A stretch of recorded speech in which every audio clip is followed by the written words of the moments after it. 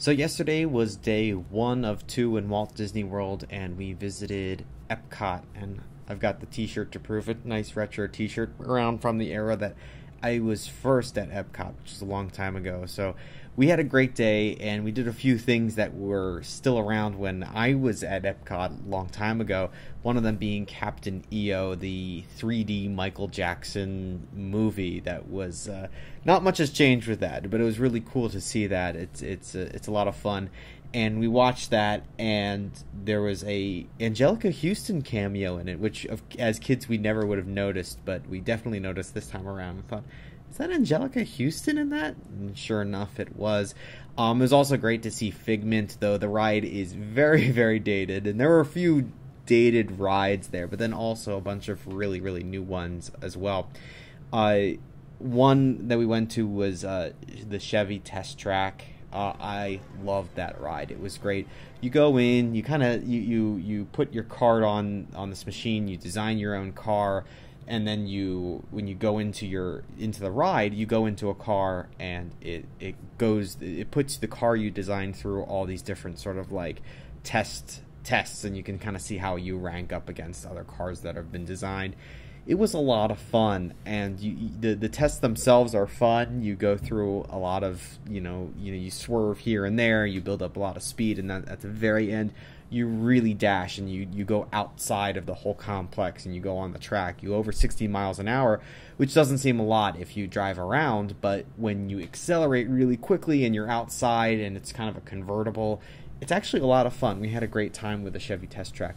We also had a lot of fun at Mission Space, which is basically one of those big centrifuges where you, you know you put they put you in this pod and they spin you around really fast, but the you have this screen kind of in your face that makes you feel off like you're taking off into space.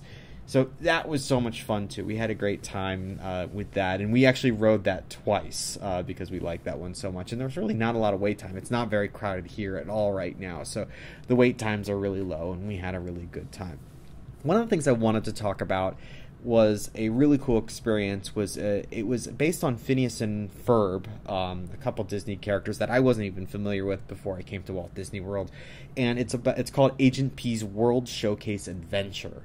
And the idea is you get a cell phone. It's really literally like a Verizon cell phone, and it gives you instructions on what to do. And it's a bit of a scavenger hunt. You go from one spot to another. And it says you know we, we were using it in the in the sort of united kingdom area of epcot. And it would say you know go to the phone booth and hit ok and when you go to the phone booth and hit ok uh, you know, a golf ball will come out, and you got to bring that, and you take the golf ball, and it says, okay, bring that golf ball to the sports shop. So you cross the street and you go to the sports shop and find this golf ball analyzer. You put it in, and it follows this whole storyline about catching this evil person and this evil mad scientist.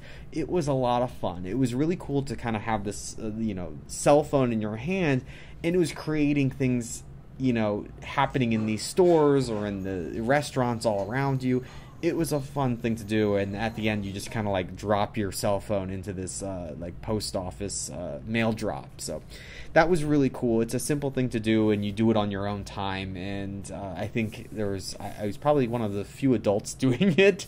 Um, a lot of kids really enjoyed that a lot. But i think it was fun to experience how technology when you have something in your hand like a cell phone and it's causing things in the real world to do neat stuff i think that was a really effective means of interactivity and i, I really appreciated that experience because it also gets you to explore these sort of strange parts of the park where you never would have noticed that there's something there unless you were participating in it. So that was great. Uh, we went to uh, dinner in Germany. We went to a great buffet. They had entertainment there. It was really fun. And then we finished off with fireworks. And I thought the fireworks at Epcot were really cool. They did them over the big lake that they had there and it was timed with lasers and music and all the lights and all the buildings were timed up with it as well which was actually rather impressive. So it was a great way to end the night. This morning we're on our way to uh, uh, magic kingdom. I'm excited to see what that brings and uh, hopefully i'll be able to get another report in so that you can see it. Maybe i'll be doing it over the weekend so that you can see it on monday but um, yeah it's been a great day at disney a great first day at disney at least and i'm looking forward to reporting more all right. Have a great day, and I'll see you soon. Bye.